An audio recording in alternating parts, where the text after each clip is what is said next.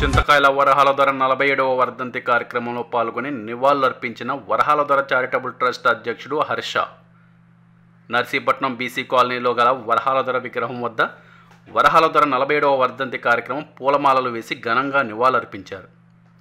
రెండు నిమిషాలు మౌనం పాటించి జోహార్లు అర్పించారు ఈ కార్యక్రమంలో కొరుపోలు శ్రీను లాల మురళీకృష్ణ ధనిమిరెడ్డి మధు డాబూరి శ్రీకాంత్ డాబాల శ్రీను ఫోటోలు శ్రీను తదితరులు పాల్గొన్నారు. జోహార్ వరహాల్దర్ గారు జోహార్ వరహాల్దర్ గారు జోహార్ వరహాల్దర్ గారు జోహార్ జోహార్ జోహార్ జోహార్ జోహార్ జోహార్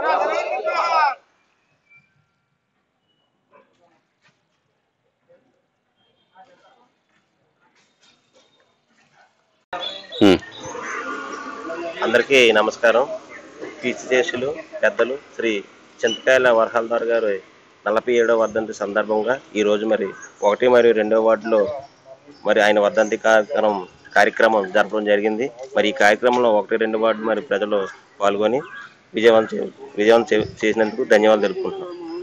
అందరికీ నమస్కారం అండి.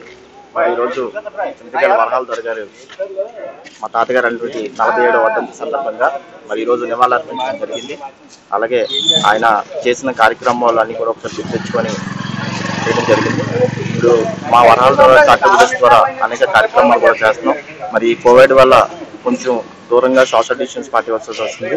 అలాగే కొంతమంది పార్టీ అండదండలతో పార్టీకి అండదండగా ఉండి ఈరోజు వైసీపీలోకి చేరి వెన్నుపోటుగా బాగా చేస్తున్నారు.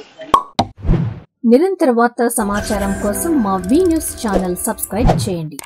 నోటిఫికేషన్ కొరకు